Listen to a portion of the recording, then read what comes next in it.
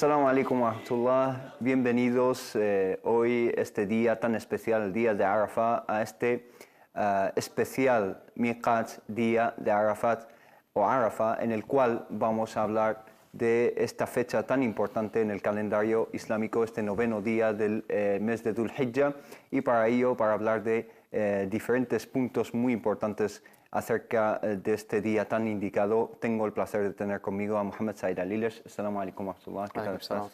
Alhamdulillah. Alhamdulillah. Y a Tawfiq Shidad al ¿Qué tal estás, hermano?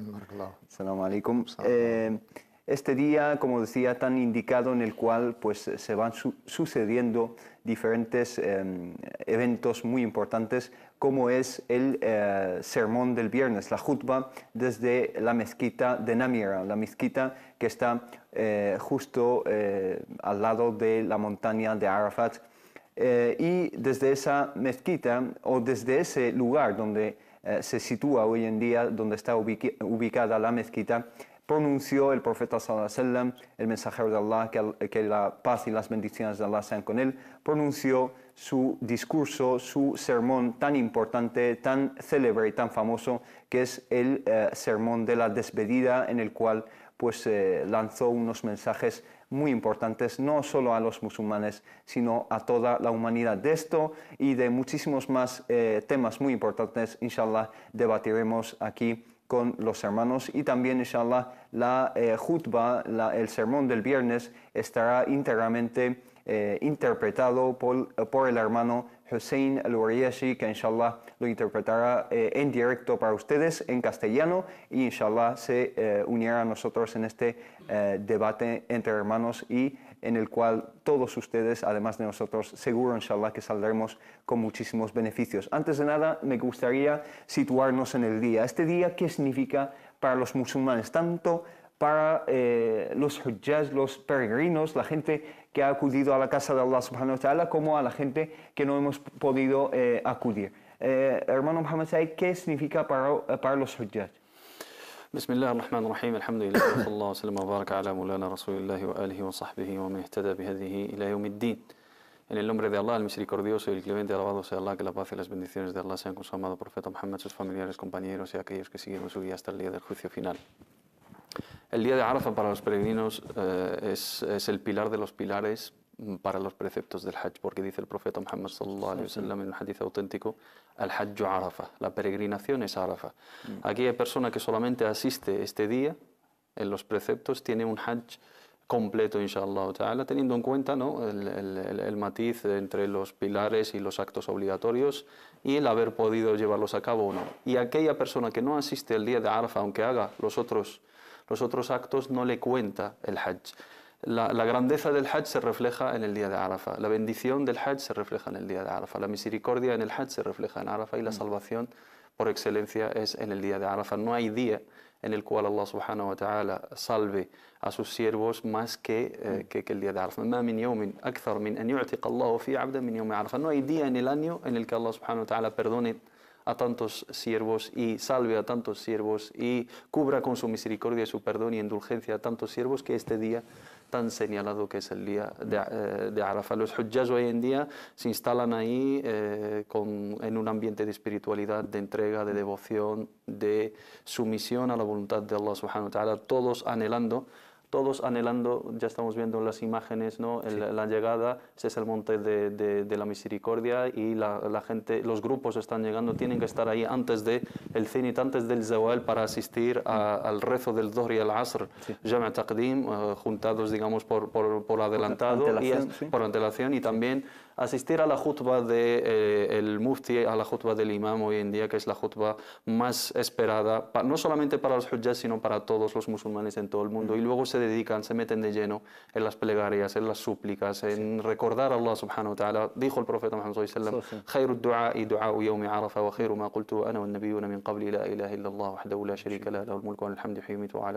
Mm. Y hoy tenemos la gracia de que se ha juntado el día de Arafa con otro día festivo, con otro día señalado que es el día del viernes, en el cual hay una hora que, eh, que como nos dijo el profeta Muhammad sallallahu alaihi wasallam, hay una hora en la cual eh, ciertamente las súplicas son respondidas. Dijo Ibn al-Qayyim ta'ala, eh, el, el, mejor día o el día eh, en el que más podemos tener la esperanza del perdón y de, la, de, de las respuestas de Allah subhanahu wa ta'ala a nuestras súplicas es cuando se junta un día de Arafah con un viernes, porque ahí se junta la mejor plegaria con el mejor día, con el día mm, en el cual Allah subhanahu wa ta'ala salva más siervos y con el día del viernes donde Allah subhanahu wa ta'ala ha reservado unas horas para para sus siervos sinceros cuando, eh, cuando le piden cuando se acercan a Él. En efecto, es un día lleno de eh, bendiciones y de eh, bien por doble partida, por ser el día de Arafat o Arafat o también por ser el día del viernes, que es el mejor día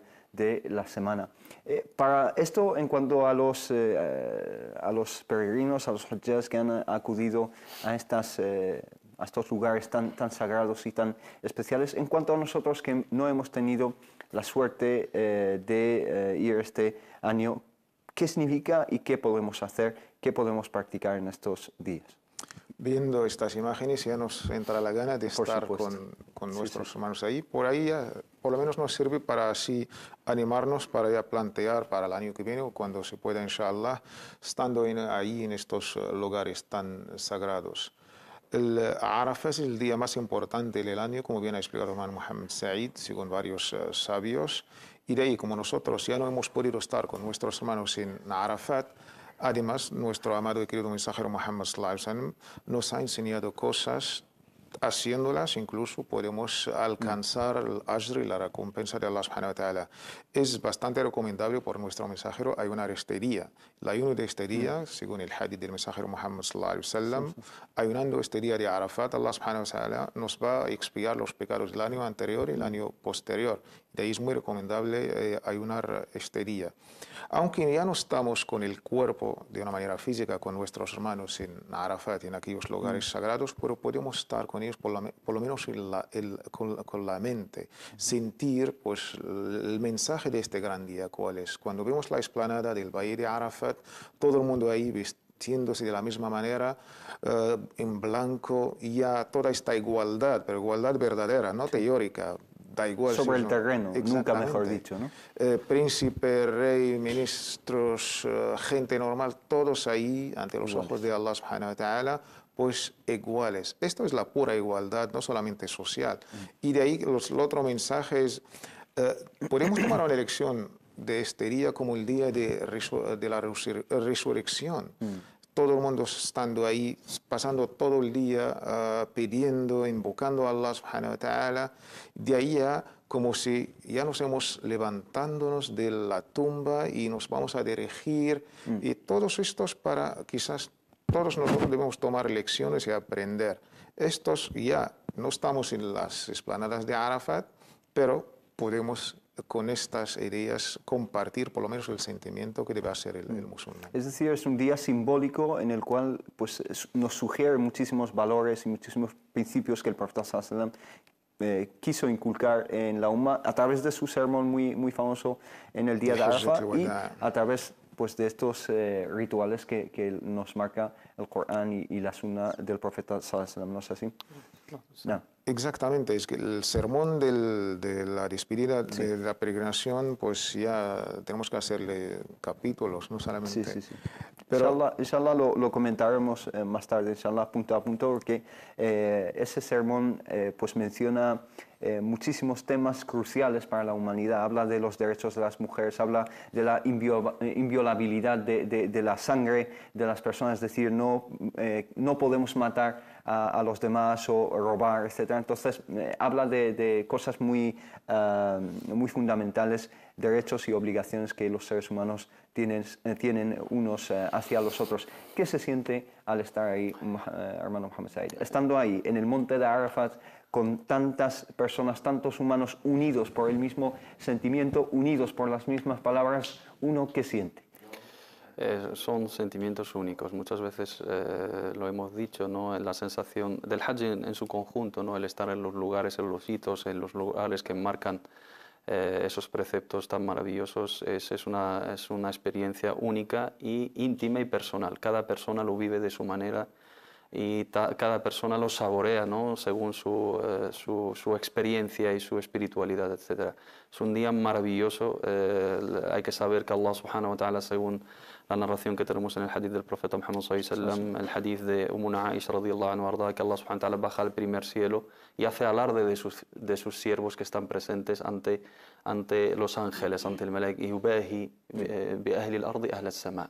Allah subhanahu wa ta'ala hace alarde de, de sus siervos en la tierra ante los, sus, eh, sus siervos en el, en, el, cielo. ¿no? Y eh, dice, mirad, fijaros en esos, esos siervos que han venido, que han dejado sus tierras, han dejado sus países, sus patrias, sus familiares, han venido vestidos de esa manera, no despeinados, totalmente entregados, que anhelan mi misericordia, polvorientos, y anhelan mi misericordia, mi perdón y mi indulgencia, y se lo voy a entregar. Allah subhanahu wa ta'ala está presente con sus siervos en un lugar y en una fecha determinada, única al año. No es, esa imagen y esa escena no se repite en otros momentos. Rezar podemos rezar en cualquier momento, ayunar podemos ayunar, pero asistir a Arafat solamente es un día y es en un lugar. Mm. Es en, el monte de Arafat, en la esplanada y en el valle de Arafat, inclusive el monte de la misericordia, Jabal Rahma y toda la periferia y en esa fecha, ¿no? ese día después del Zawal hasta el Maghreb, unas horas determinadas, todo el mundo entregado, una evocación de ah, unas escenas del día del juicio final, todo el mundo anhelando la misericordia de Allah subhanahu vestidos como, como si fueran mortajas, ¿no? como si fuera kafan, dos trapos, todos por igual, las clases sociales ahí desaparecen, digamos, eh, el estatus social ahí desaparece, todo, eh, todo es igual ante el ojo de Allah subhanahu solo podemos destacar por nuestra eh, sinceridad en la intención y por nuestra dedicación, devoción y, cercanía a Allah subhanahu wa mm. ta'ala. Eh, es eh, aquella persona que ha asistido alguna vez o que están hoy en día ahí, los que están ahí son unos afortunados, son unos seleccionados, unos elegidos por Allah subhanahu. Enhorabuena para, ellos y ojalá, inshallah ta'ala, que los que no han podido llegar todavía ahí a ese lugar, que Allah subhanahu wa ta'ala haga realidad su sueño y los que han ido, que inshallah ta'ala vuelvan a ir y a asistir esa misericordia y sentir, ¿no? respirar el aire de Arafa en el día de Arafa es algo especial, eh, sentir la presencia de Dios, sentir la presencia de Allah subhanahu en el primer cielo y recordar, hacer un repaso de toda tu vida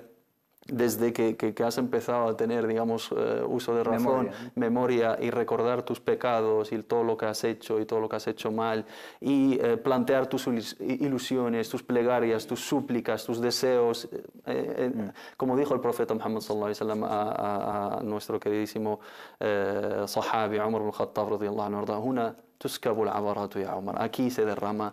Si, no lloras aquí. Si no lloras aquí, no se, no, no, no, no, no se puede concebir ¿no? ese, ese, estado en otro, en otro lugar. Y ves la imagen de todo el mundo entregado, ¿no? Mujeres llorando, personas mayores, gente que está, digamos, al, a, la intemperie, ¿no? El, el, al, al, sol, a un calor de 45 grados, mm. todo el día ahí parados. Gente para llegar a estar ahora en el monte de, de Rahma o estar ahora en la como lo estamos viendo, que antes tenido que llegar la noche previa, ¿no? han pasado la noche ahí en, en, en, en las inmediaciones de la mezquita de Námira o en, los lugares ahí, tienen que aguantar sin tener, digamos, eh, lo mínimo ¿no? de, de, de, de, servicios, eh, tener, digamos, provisiones muy mínimas de comida, pero todos entregados, anhelando esa salvación en el día que más salva Allah subhanahu wa ta'ala a sus siervos.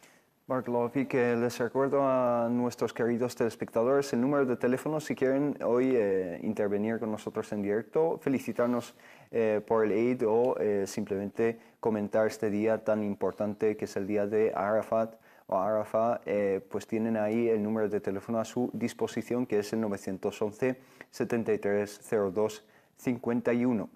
Eh, son bienvenidos para intervenir en cualquier momento. Eh, en cuanto a, a, esta reflexión que ha hecho el hermano Muhammad, ha mencionado algo muy, muy importante, que es el día en el cual Allah subhanahu wa ta'ala, eh, digamos, salva a más gente de su castigo, ¿no? a más gente del infierno. Y también dice eh, el, profeta sallam, es un día en el cual Allah subhanahu hace alarde o se enorgullece de eh, la gente de, la tierra, los moradores eh, de Arafat, ante los moradores del cielo, que son los ángeles, evidentemente en este contexto. Estos dos hadices realmente se mm, conectan entre sí porque esta resignación, esta entrega total ante Allah subhanahu wa ta'ala, este Islam, porque el Islam es eh, digamos, la palabra Islam significa rendirte ante Allah subhanahu wa dejar eh, tu voluntad aparte y rendirte ante la voluntad de tu Creador. Una vez que lo llevas a cabo, entonces eh, eres merecedor de este, esta salvación de Allah subhanahu wa ta'ala y al mismo tiempo Allah subhanahu wa ta'ala se enorgullece de que una criatura que tiene placeres, etcétera, pues deja de lado todo eso y se entrega ante, ante su Señor. ¿No es así, hermano Sofía? Es mucho más, es que eh, eh, a mí me contaron, siempre me han contado lo del Hajj, de ir a la Meca, gente cercana, mis padres, mis amigos, siempre vamos por la tele, pero la verdad, cuando estuve ahí es totalmente distinto. Mm. Una cosa es oírlo descrito y otra es que no hay palabras, vivirlo y estar ahí y culminarlo con estar en el día de Arafat pues ahí el sentimiento más hondo y profundo que puede sentir uno es este sentimiento de, del abd, que mm. soy siervo de Allah, subhanahu wa ta'ala, glorificado sea. Esta ubudía, eh, la hemos, eh, leí, hemos leído sobre ella, libros y tratados, mm. pero sentirla así en términos palpables hay que estar ahí en Arafat. Tú estando solo, como dijo el hermano, pues en mortajas, y ya sentirse que ya estás ante Allah, subhanahu wa ta'ala, y sentir tu, tu, condición humana. Esto es lo más, digamos, eh, eh, bonito de este día tan importante, el Hajj. Y de ahí que Allah subhanahu wa ta'ala nos va a hacer como una, compararnos con la gente del Mala al-A'la, los ángeles, sabiendo en otro hadith auténtico que justo por encima de Mecca, hay más o menos el mismo ah, en el primer cielo, incluso en otras versiones en cada cielo. También hay casa y malaika que están dando pues aquellas vueltas o circunvalaciones. Y Allah subhanahu wa ta'ala a esta gente que han venido de todos los rincones de la tierra solamente por, una, por un objetivo que es adorar a Allah subhanahu wa ta'ala y hasta que Allah subhanahu wa ta'ala nos va a compararnos con, los ángeles, mm. nosotros los pecadores, nosotros de, esta, digamos, eh, esta parte ten material mm. con, con la otra dimensión espiritual, se alza en el día de Arafat. Esta espiritualidad la conseguimos de una manera multiplicada. Mm. Sentir que en estas tierras es que la verdad, eh, tu condición humana, tu Allah subhanahu wa ta'ala creador, y estás ahí con Allah subhanahu wa ta'ala, estás hablando con Allah subhanahu wa ta'ala, estás invocando a Allah subhanahu wa ta'ala, estás eh, glorificando a Allah subhanahu wa ta'ala. Y sentir que en, estas, que en estas tierras tan sagradas y benditas estuvo un profeta que es el patriarca de todos los profetas, Abraham o Ibrahim el-Khalil, la paz de Allah sea sobre él. Arafat tiene que ver mucho con Ibrahim, no solamente Arafat, todo el Hajj, todo el peregrinaje tiene que ver con esta familia tan bendita, Abraham, Hajar alayhi salam y su hijo Ismail salam. Abraham en el día de Arafat y todos los ritos que van a seguir el día de mañana, todo esto tiene que venir. Y de ahí, de Abraham, hemos venido todos, judíos, cristianos y musulmanes. Esta, digamos, relación entre todas las religiones es el tawhid que Allah subhanahu wa ta'ala, sentir el tawhid en aquel día que todos somos humanos y Allah subhanahu wa ta'ala es nuestro creador. Y relacionarlo con el último de estos profetas y mensajeros, Muhammad sallallahu alaihi tú estando ahí en Arafat, puede tus pies tocando el mismo sitio donde estaba Muhammad sallallahu Estás caminando en el valle de Arafat, ahí caminó Muhammad sallallahu Estás invocando, estás pidiendo a las manos. Estaba Muhammad sallallahu. Mm. Quizás en el sitio donde vas a hacer sujud, Muhammad sallallahu wasallam su Sentir esto solamente en, en, aquellas tierras. No lo puedo sentir aquí en España. Y por ahí hay que aprovechar y lanzamos un mensaje a todos los hermanos y las hermanas que hagan lo posible y lo imposible a ver si pueden conseguir un hajj lo más pronto posible.